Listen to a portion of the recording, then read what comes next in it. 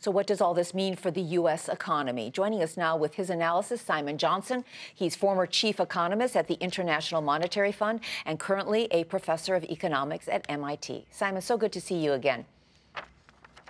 Thanks for having me.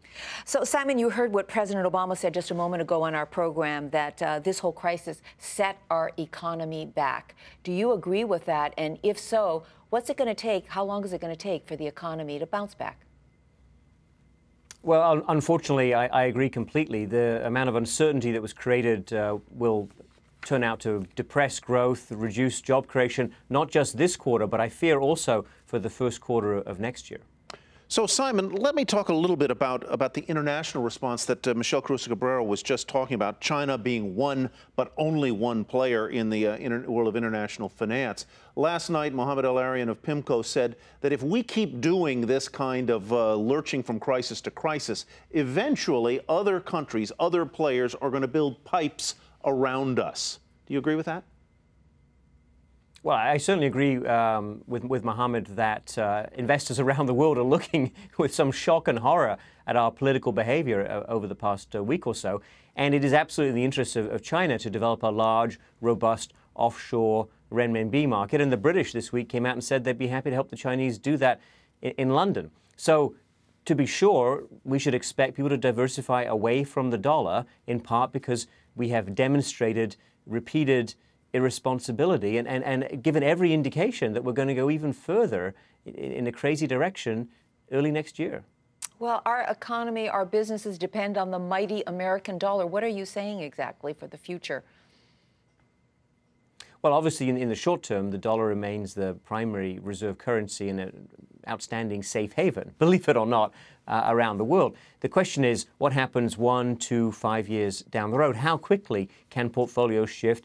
How fast does the euro rebound or, or, or, the renminbi rise as a viable alternative to the dollar? The pressure is there. We, we should recognize that it's no, we have no birthright that, that, that uh, says the dollar is number one currency forever.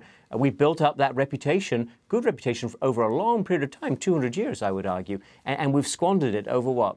Two, three, five years. It's, it's really appalling. You know, as we look uh, now back on this uh, debt crisis going up against the debt ceiling for the now second time in little more than two years, I wonder if you feel that at some point, if we run headlong once again towards this cliff, uh, that at some point we're going to slip and actually go through that debt ceiling and, and have, uh, either in technical terms or real terms, a default. Do you think that's, that's going to happen?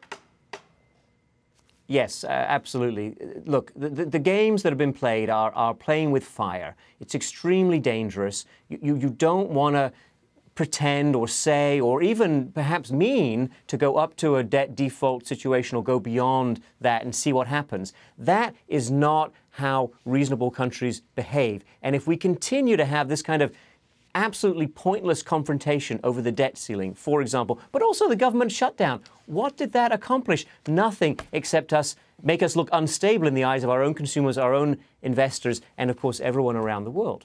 Simon, here's another what if question. During this whole crisis, there were a lot of warnings that the U.S. economy could slip into recession. What about now? Are we still at risk of a recession or are we in the clear? Well, I don't think this is going to precipitate a, recession, but for sure we lose perhaps half a percentage point of growth in the fourth quarter. I would worry much more about the beginning of next year. If we have a confrontation in January, February, March, or all of the above, that will really hurt us. And depending on what's going on around the world, I would not be optimistic about our growth prospects. All right, sorry to leave it on such a downbeat note, but we have to leave it there. Thank you so much, Simon. Simon Johnson, professor of economics at MIT.